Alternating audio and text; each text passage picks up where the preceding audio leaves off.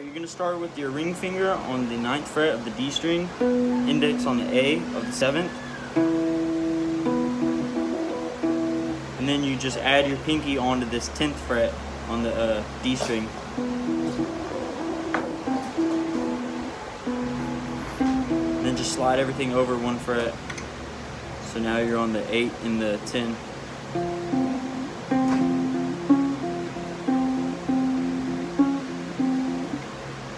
And then for like the bass part, like uh, the middle of the song, when that part's not playing, you could just go.